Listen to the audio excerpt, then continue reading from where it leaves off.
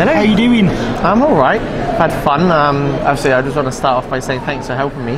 No Um, fun. Been good fun. Yeah, first time doing a layout at a railway, not a railway, a, a layout at an exhibition. Exhibition layers. Yeah. So, when when did you actually start the, the build? Uh, the, the the kind of the official start, I think, it was about six weeks ago. I need to check my YouTube video. So when I launched the first video, I would have spent like two or three days editing. So go back from there and you can figure out there. So it's, to, you know, to get a layout from empty baseboards, plain baseboards, to this in six weeks, and at an exhibition and working. Yeah, yeah. The job gets in the way. Um, yeah, so uh, if I could quit my job, obviously no one at work, so if you listen, um, you get all this done much quicker. Um, the, the thing is, like when when you've not got a lot of time, you have to be efficient. What am I doing? So you just plan a bit better, Yeah. and then you could kind of, in one way, slap things together. You know, it's a very simple uh, system of a layout um, which has um, one track going over it. The station's the most complicated because it's got two points on it. Um, after that, really, got the siding with a point, which I'm not using. It's just more decorative. Um, after that, the hardest bit was the bridge to do. Really, the most fun bit was making the trees. Okay. Um, the trees were a lot of fun. I, I'd been putting off the idea of doing seafoam trees before. Yeah. Um, so you get to that stage, get the seafoam, spray it brown, get a bit of glue on the on the edges of the branches, put some flock on, whatever you like. It, it, it's been good. But it, you, you know, I suppose you expand that now and do start to do shrubs and Yeah. you know brambles and all the rest. Yeah, it's well, uh, experience. As you're doing it, you wonder what else could I do?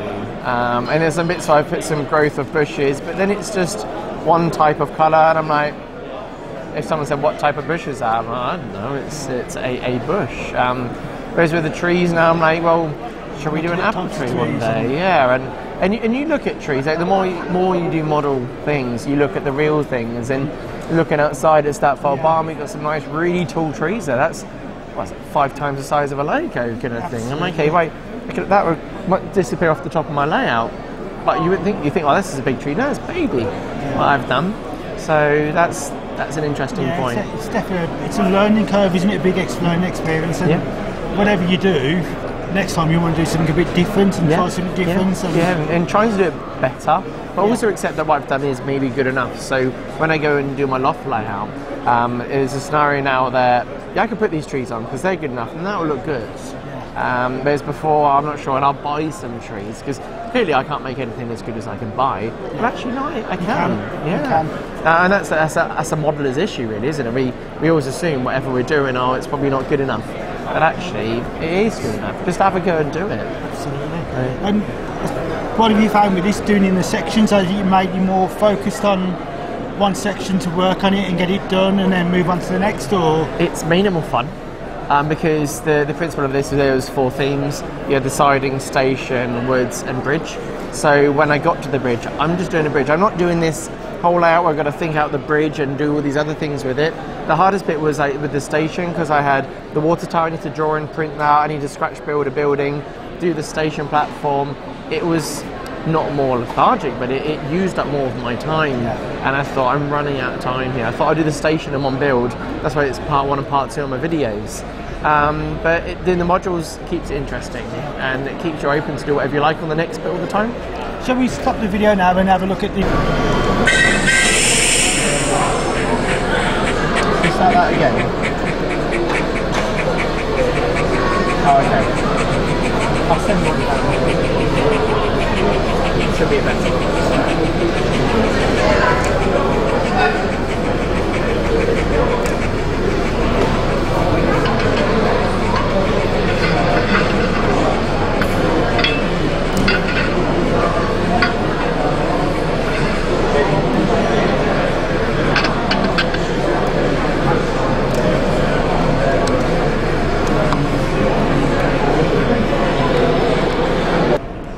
This is the first section you worked on. That's right. Um, the siding is the name for this part. I should put a little label underneath it.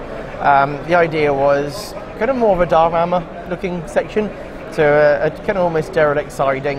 Um, you've got an old hut building business, T Lane from Tunnel Lane Model Railways.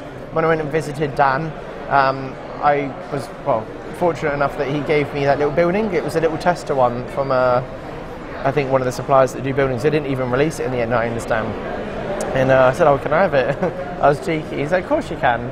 So that was that was really nice. Um, so then I kind of based something around that. So I got that. So the business might have then offloaded onto a little van and obviously taken that. Um, I got to practice the idea of doing the um, swept edge. So as this comes down, so I got to practice that idea because I really like the idea of when you're filming it, you haven't got a hard edge so it gives it something more for the eye to look at. My regrets are is I didn't block the the entrance or exit as well as I could have. Um, on the other end, I added some trees. So if I go back, I'm going to add some trees and try and yeah. blend it in, make a tunnel portal, maybe. I don't know. Yeah. Um, I suppose it, it, again, it's the it's the learning experience. The layout evolves, and you know, you've realised you've made. I suppose I don't want to call it a mistake, mm-hmm. but you've realised that you could do things slightly better next yeah, time. Yeah, yeah, uh, absolutely. You, you kind of think, oh, that will do, but by the time you finish, you think, no, no, no, I want to change that.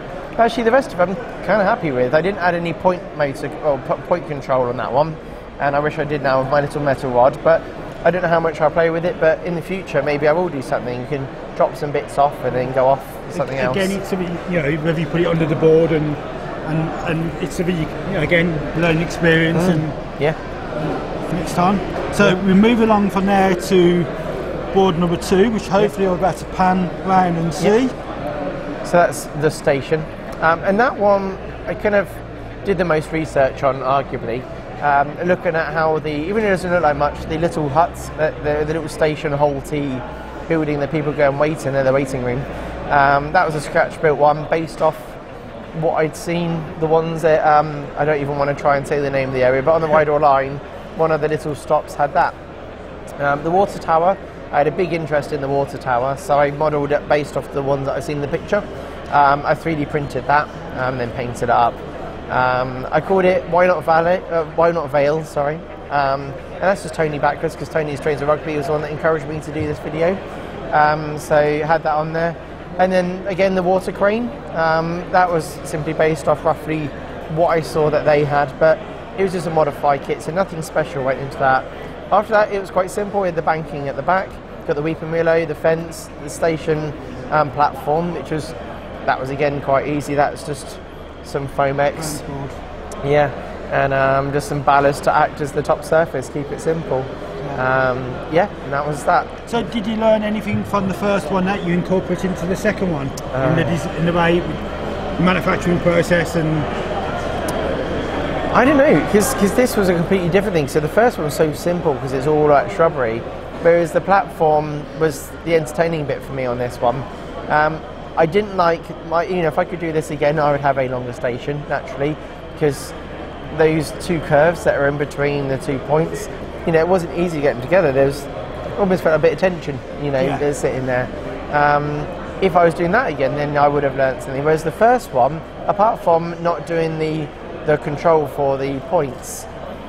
You know, I, I, I had a go at doing the banking, so that was good. Um, I'd had my practice with that.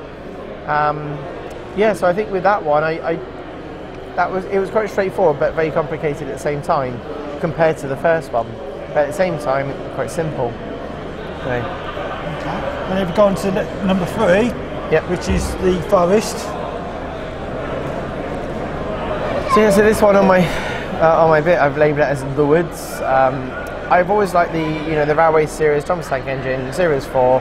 Then you'd have the locos, the little navigator locos, going through the forest scene, uh, wiggling through, and you've got a little fence, trees all around it, and you've got to look through to see the locos. Um, and then looking through the Vale of Rheidol book that I picked up from uh, Leighton Buzzard Model, uh, Leighton Buzzard Railway, I say Railway. Um, I've got a five pound book and uh, all about the Vale of Rheidol. Um, so I saw similar scenes, and it just looked nice. I thought I want that. Um, and actually, people have commented it's nice to look at the loco in between the trees as it comes through. Um, that was the easiest one. It was the messiest and most fun um, because you're putting lots of uh, leaves onto the, the trees. So that was very enjoyable. So yeah, it was it was very good to do that one. One thing I've always liked about when I built model railways is is that is that effect where you see a train come into view, you see it, it comes past you, it disappears, and then you wonder where it's going to. Yeah. Uh, and it's that's something always nice on a, on model railway 'cause if you see it and you lose it, then you're looking for it to find out where it's gone. Yeah, yeah. And that's where you spot the decals and uh, you know just, you see the things that you, you might miss by when you're looking for stuff. Mm-hmm. Yes. Uh, So no, it is that, that cat and mouse moment where you're just like hunting. Yeah, so it is good. absolutely. And I think we need to move move the, the tripod Yeah. up again. Skip Uh, over to the And this is the last the last part. Yeah, so we've got the bridge, nice and simply put. I kept it simple for my, my little plan when I did it. Now the Vela Idol, there's a nice bridge where the loco goes over. Um, this I try to match the trestle shape underneath, um, and same as kind of how the style was on top. I would change a few things if I did it again, um, but I try to incorporate the supporting rail that goes on the centre of the track. Um, the bits that didn't go well, for, ready for the show, was getting the water in there to a good height. Yeah. Uh, the first pour of water took felt like forever to. I should have used the resin stuff in the end, but I'd heard horror stories about the resin stuff as well. So then you think, well, what should I do? But I enjoyed it. I added the roots and the banking I'd seen on Luke Towan's videos. I don't take credit for things that you know, using soil from your garden, um, roots from weeds, um, put them on the banking. Worked out really nicely. So it was it was a fun construction. There's a bit of engineering Yeah. went into this one. So, so is this the first time you've done water as well? Yeah, yeah, and I've been holding it off for ages. I should have had a little practice with, uh, something. I, I poured some of the water to see if it said, and it, it said, um, on, on a bit of plastic. And then once I did this, what I found was that the, I think it was a water-based pour, Yeah. um, it reactivated the, PVA. yeah, Yes. I still had this, the horror I felt when I see everything going white underneath. But actually, it's gone away. I've only got like one spot where I've got a little white section. Um, so I'm gonna, I want to end up building this up, I don't know, maybe two centimeters, three centimeters. So you've got a good height to it, like I see in the pictures. Yeah. Um, but I think I'll probably test some resin on there, a thin bit, see how that goes, and then build that up. If you, if you can sometimes add a bit of acrylic paint Yeah, just to take the uh, to tint the water slightly. yeah. Otherwise, it's like a Um, sheet of glass. Yeah, so you, Yeah. you can you might be able to lose the the white dots. Yeah, yeah, Uh, that's very true. Yeah, the murkiness would definitely hide that, wouldn't it? absolutely. Yeah. No. But, you know, for the first effort, it's, it's, Yeah, it's fantastic. And, Yeah. you know, hats off to you for having allowed to the next exhibition yeah. as the first one. So it's, No, it's, uh, it's, it's been fun, and, and actually, I come to exhibitions, I want to look around. Um, and so, thank you to you for helping with Zach um, today so I could have a little look around and take some video, um, which has been nice. And haven't bought anything, it's the first time I've been to an exhibition. yeah, Um, you know, I haven't even, because he gave you a lunch, I haven't spent any money today, which is a very strange thing when you're at a show. Um, so uh, I'll try and maybe make up for it tomorrow morning before the show starts Absolutely, and go and raid someone, Yeah, uh, buy something. I know I did buy some stuff. I bought some stuff from Tony's Trains of Rugby. Okay. I bought a Statfold Barn um, van and then the one that's on the back of Little Red that I call it, a little break, that brake van. Yeah. Bought that from him because I, I wasn't trusting on the rolling stock I had. Um, so yeah, one nice thing today that I've had is um, my Vela Rheidol 040. Not that that existed, Yeah. I did my take on one, and that's been running really nicely. so I it's finished a that. lovely, lovely Yeah, I finished it yesterday morning, and um, oh, it's been a star so far. It's, So it, it's a really nice. I'm just going to come across the bridge in a yeah, moment. be coming over uh, the, the bridge in. I say in any minute. They're, they're not flying over there, are they? It's a really nice looking train with chocolate and cream and Yeah, uh, Brunswick green. You can't yeah. quite can't really knock that, can you? It was quite nice for me today. Um, the the guys that volunteer slash work at Vela Rheidol, um, they came and introduced themselves today. Uh, apparently, the guy that, um, well, let's say the big boss man that, that, that does the main work there, um, he's been watching and told them about it. So then um, uh, they can introduce themselves, and they've said about coming over, bring the layout with me, um, and um, yeah, have it sitting next to one of the big uh, tank engines they have there, and uh, finish maybe the video off, you know, being there. So that would be very, well, very cool. I'd be So, very pleased to go there. so you got already got an invite to another show. Uh, yeah, well, yeah, yeah.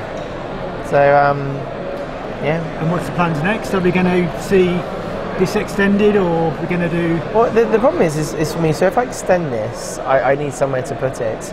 Um, I've probably got a few more shelves I could put up in put bits, bit places. Um, yeah, but then if you go to a show, you then have an even longer layout. So to be accommodated for, then it's the next bit. I think all I would do is I'd put two corners on. Yeah. So um, where the um, fiddle yards are, there'd be 90 degrees to the layout. Um, so then I'd have little corner bits to wrap around, so it's not finishing Yeah. end on end. So, and I think corner would be interesting because it adds interest when you Yeah. go around that curve. So, I think that's what I would do if I had two more modules. I don't know what I put on them, but you know they've got lovely rolling landscape at the Vela Rheidol, so Yeah. maybe just two bits like that. So. Pl- plenty of time to find inspiration and have a go. Yeah. Uh, the, the whole principle of this is it can go on a shelf and get put away. Um, so I need to still encompass that. So if I make an L-shaped corner, I need to think about what, what am I doing here. Yeah. Um, so yeah. Well, thanks for talking to us. No, no, Uh, it's been a pleasure. and uh, it's been great fun playing today and playing Mm. trains and oh yeah, and it's been great having you helping. It really and, has. And you'll be, if anyone's watching tonight, you'll be back here tomorrow.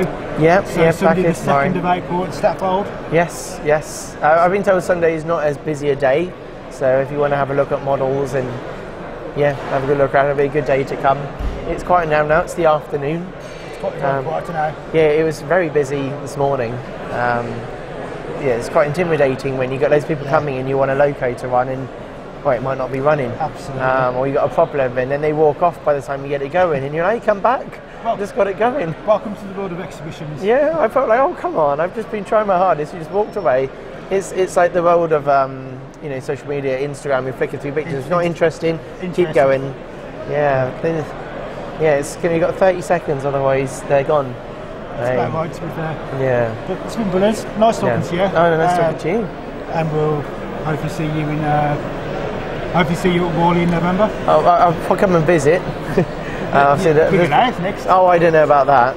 I'll, I'll bring a piece of it. I can put it next to you know. Yeah. Um, yeah, it's been fun doing an exhibition so far, um, but you, you need a team with you. Yes, hard work. You know, I was initially just going to come on my own. Uh, that would have been exhausting.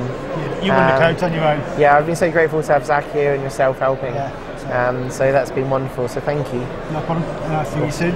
Yeah, see you then. Tomorrow, I know what works or what doesn't work.